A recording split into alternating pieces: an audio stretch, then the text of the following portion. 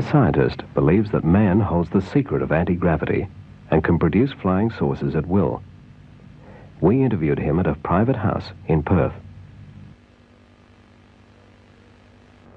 Well, originally I didn't start to uh, investigate UFO phenomena.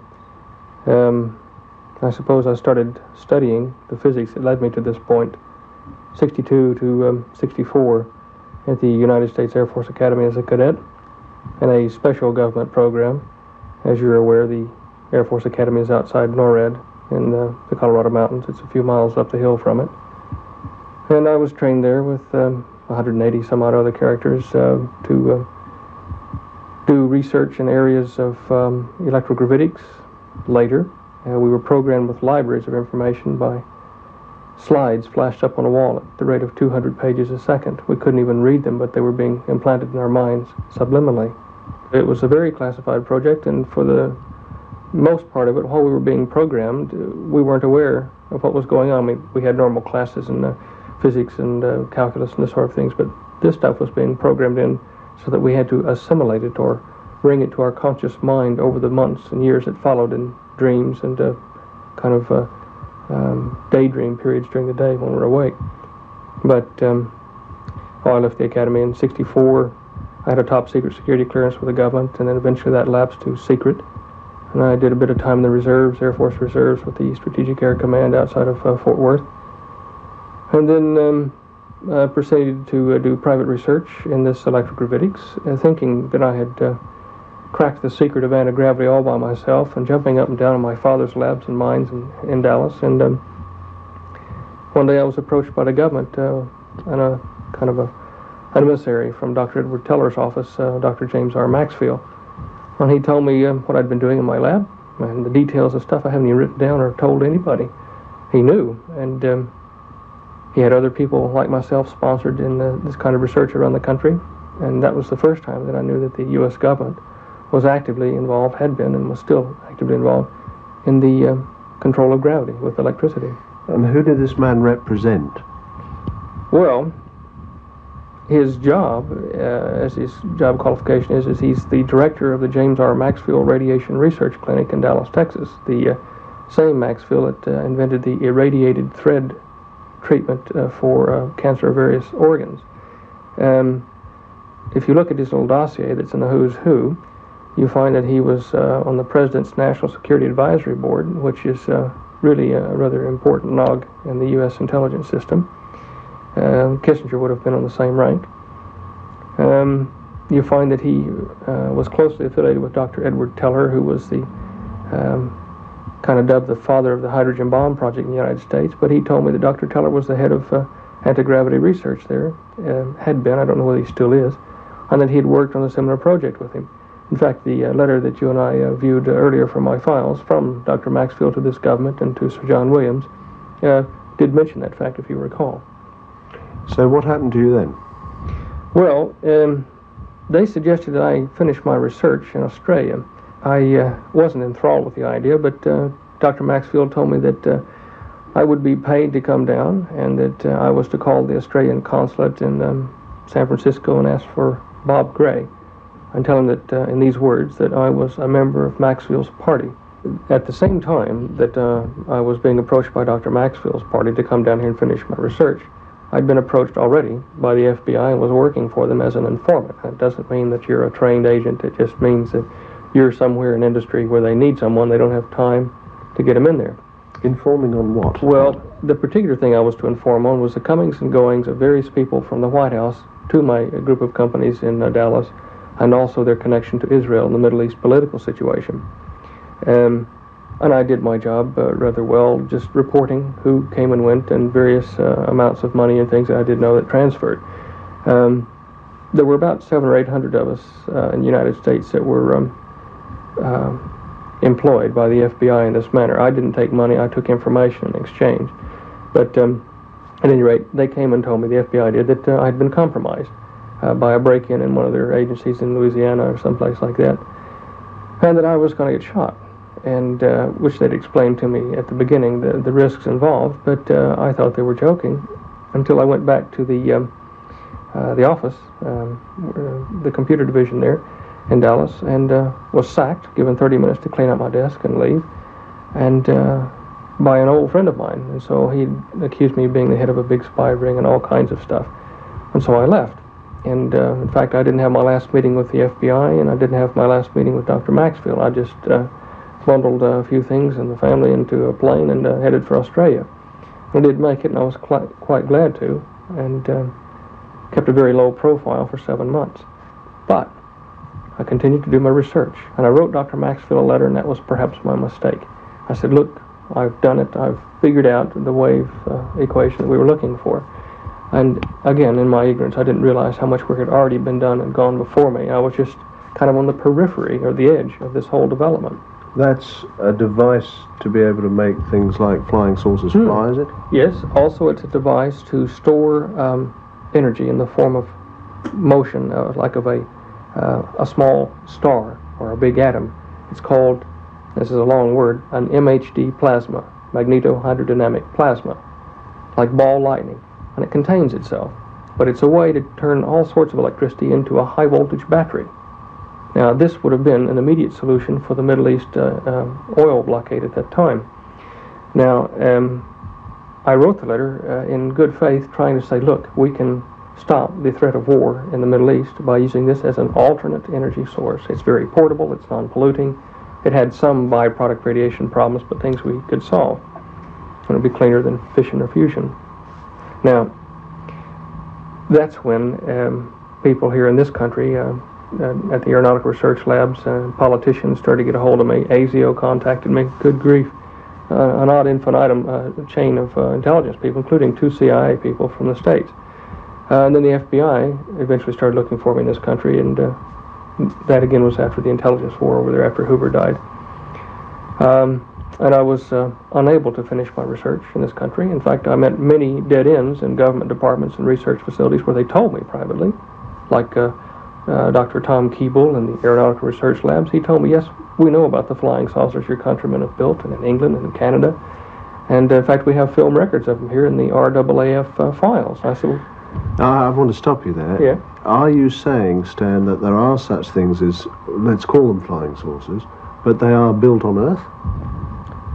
Yes, uh, that doesn't mean that I um, rule out the possibility of other flying devices or intelligent beings visiting the planet either from uh, the oceanic bottoms or uh, deeper areas or uh, from other areas in space.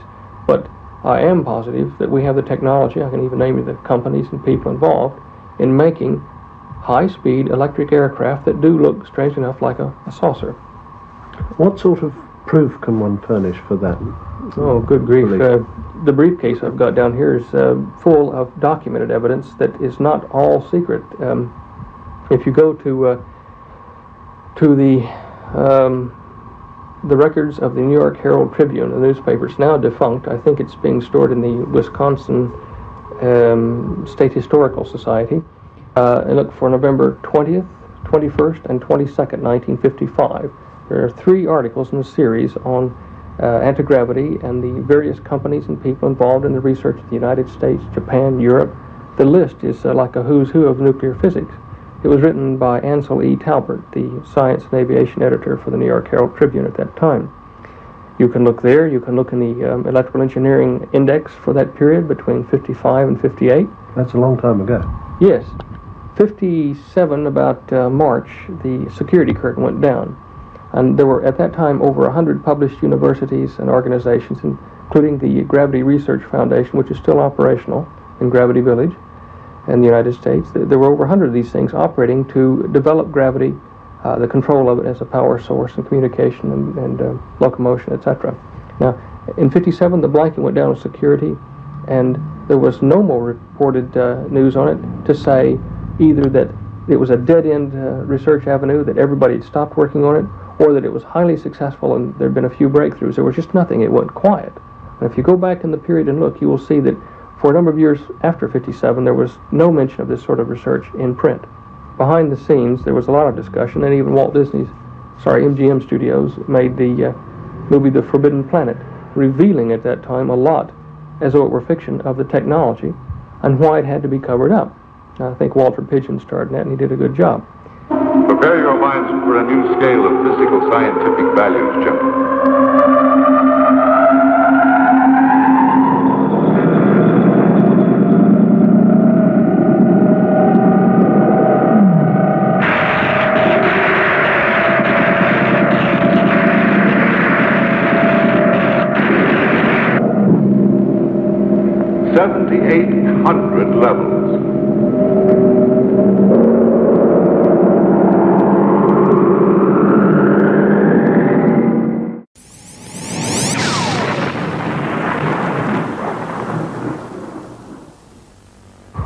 Basically, they decided that mankind wasn't ready for it yet because he proceeded to misuse it like he had the uh, atom or the hydrogen bomb.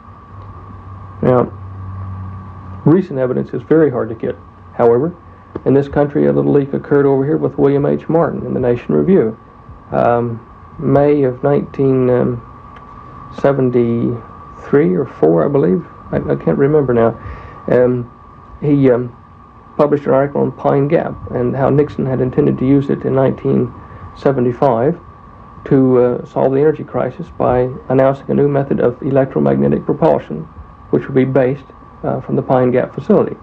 Well, now, from my knowledge of the of the technology, what small knowledge I do have from my uh, little viewpoint, uh, Pine Gap has all of the inherent uh, descriptions necessary for a high voltage, low frequency power broadcast station to broadcast electricity to various receivers like cars and submarines and uh, aircraft that are tuned to that power station.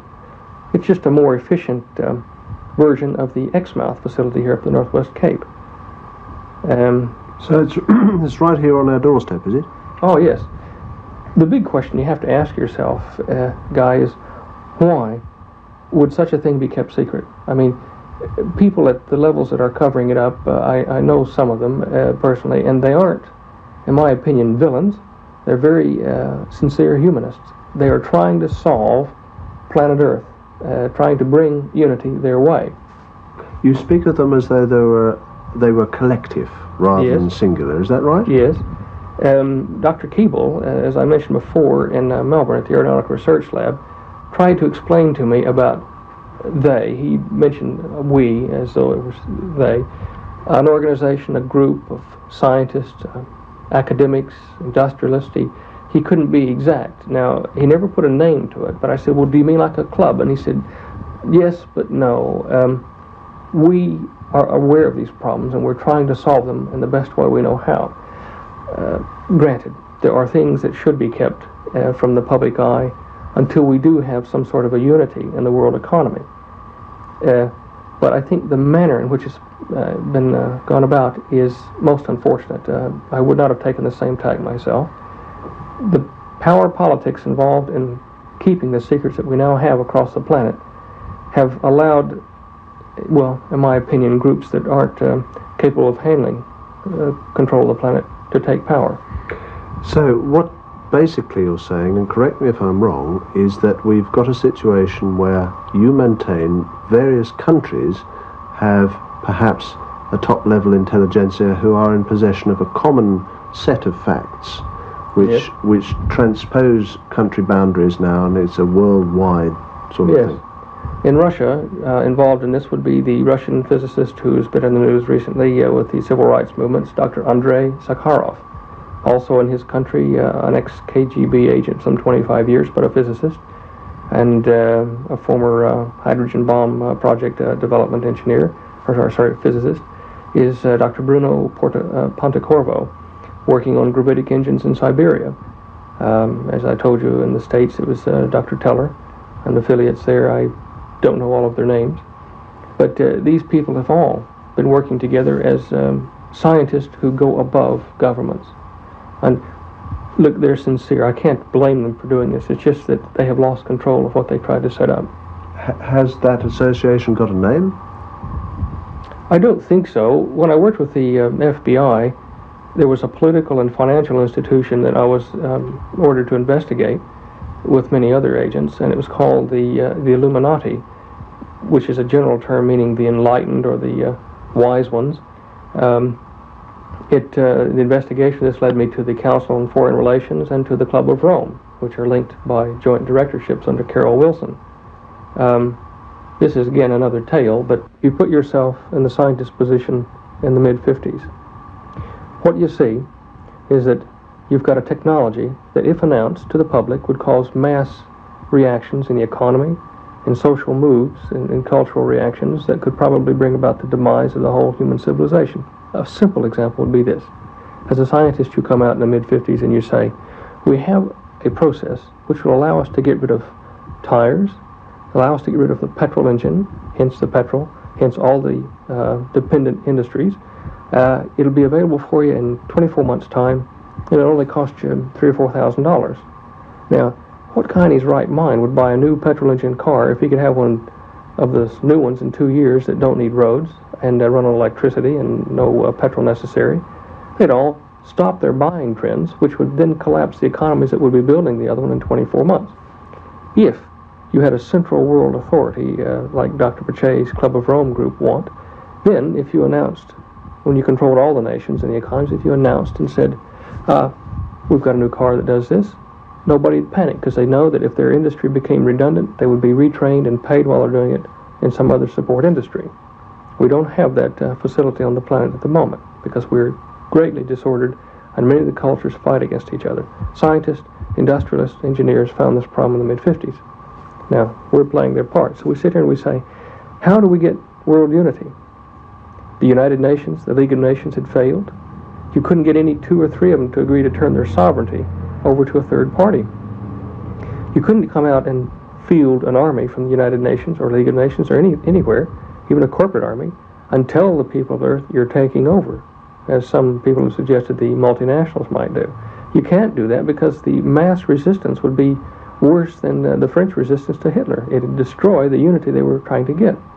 So by peaceful discussion over the uh, conference table and by force, it wasn't possible. Yet as the scientific community looked at this new technology, it reached into all human endeavor, touched many points of life.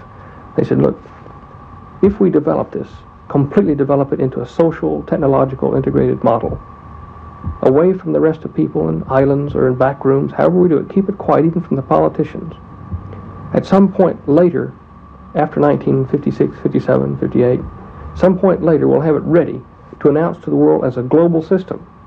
Then all we've got to do is figure out how to convince them to give it a try in unity. Right. Well, this this was 20 years ago. Mhm. Are we now saying that this is approaching the time? I think we are, and it's not like some prophecy or something. It's just looking at events in the media. For the first 10 years of that 20 year period you're talking about, people that saw UFOs or flying saucers were nuts. They were played that way in the media. It was a bad thing to even talk about it. Now, toward the end of this 20 year period, if you see one, you're a great guy in the neighborhood. Everybody wants to talk to you, everybody wants to know you.